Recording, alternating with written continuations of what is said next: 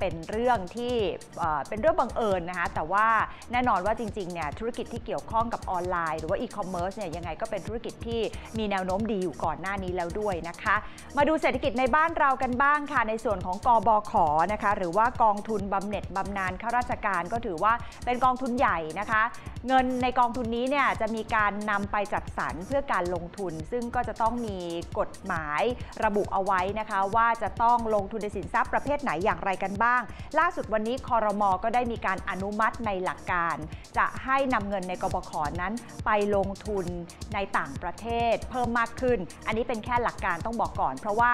หลังจากอนุมัติในหลักการไปแล้ว ก็ต้องมีการรับฟังความคิดเห็นจากหน่วยงานที่เกี่ยวข้องนะคะ เดี๋ยวไปดูรายละเอียดกันเพราะว่าสาระสำคัญคือการปรับปรุงสัดส่วนการลงทุนในหลักทรัพย์ในต่างประเทศ จากเดิมเนี่ยนะคะกองทุนกบขจะลงทุนในหลักทรัพย์ คือพูดง่ายหุ้นต่างประเทศเนี่ยไม่เกิน 30%ให้ขยับมาเป็นไม่เกิน 40%นะคะรองโฆษกประจำสำนักนายกรัฐมนตรีคุณรัชดาธนาดิเรกก็ได้มีการถแถลงออกมา คือในการอนุมัติหลักการเนี่ยเขาบอกว่าที่เป็นไม่เกิน 30%เอ่อไม่เกิน 40%เนี่ยเพื่อกระจายการลงทุนไปยังต่างประเทศที่มีความหลากหลาย แล้วก็มีสภาพคล่องสูงกว่าตลาดในประเทศ เขาก็มองว่าจะช่วยลดความเสี่ยงจากการลงทุน แล้วก็เพิ่มโอกาสสร้างผลตอบแทนที่ดีในระยะยาวให้กับสมาชิกของกบข อีกทั้งยังอยู่ในกรอบการลงทุนตามมาตรา 70 พระราชบัญญัติกองทุนบำเหน็จบำนาญข้าราชการ พศ 2539 ซึ่ง ยังอยู่ในกรอบนะคะเขากำหนดเอาไว้ตามกฎหมายว่าให้เงินของกองทุนเนี่ยลงทุนในสินทรัพย์ที่มีความมั่นคงสูงไม่น้อยกว่า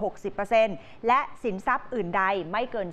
40%นะคะแต่อย่างที่บอกว่านี่คือหลักการ เพราะว่าคอรมอเห็นชอบแล้วก็ต้องไป รับฟังความเห็นเพิ่มเติมจากสำนักงานคณะกรรมการกฤษฎีกาสำนักงบประมาณสภาพัฒน์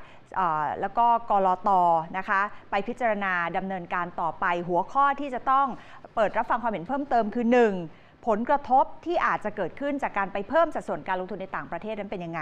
2. ควรจะให้มีการกระจายการลงทุนเพื่อลดการกระจุกตัวของการลงทุน หรือฝากเงินในประเทศใดประเทศหนึ่ง และป้องกันความเสี่ยง จากอัตราแลกเปลี่ยนให้อยู่ในระดับที่เหมาะสม 3. พิจารณาถึงความผันผวนของตลาดเงินและตลาดทุน ภาวะเศรษฐกิจโลก แล้วก็กำหนดสัดส่วนการลงทุนในหลักทรัพย์ต่างๆ เพื่อให้เกิดประโยชน์สูงสุดกับสมาชิกกองทุนนะคะ และ 4 ควรกำหนดนโยบายการบริหารความเสี่ยงอย่างเหมาะสม เพื่อให้ความสมดุลระหว่างการเพิ่มโอกาส ได้รับผลตอบแทนที่สูงขึ้น กับการรักษาเสถียรภาพของกองทุน ให้เป็นแหล่งเงินออมที่มั่นคง และปลอดภัยให้กับสมาชิกลำดับต่อไปก็จะส่งนะคะร่างกฎกระทรวงดังกล่าวให้สำนักงงานคณะกรรมการกฤษฎีกาตรวจพิจารณาแล้วก็จะดำเนินการต่อไปค่ะ